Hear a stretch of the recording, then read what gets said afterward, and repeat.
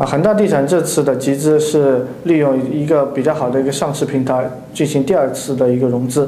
我们看可以看到内地房呃房产股，呃二次融资的话，基本上它的目的一般性是属于偿还之前的债务，或者是扩充新的一个项目。我们可以看到恒大地产的一个新项目基本上是处于二重庆、沈阳这些二线城市，而且项目分布比较广啊，投资来说是还是比较一个比较好的一个组合。那可以可以看到，暂时来说对公司的前景来说还是一个比较正面的一个影响。但是由于两次集资的时间距离比较短，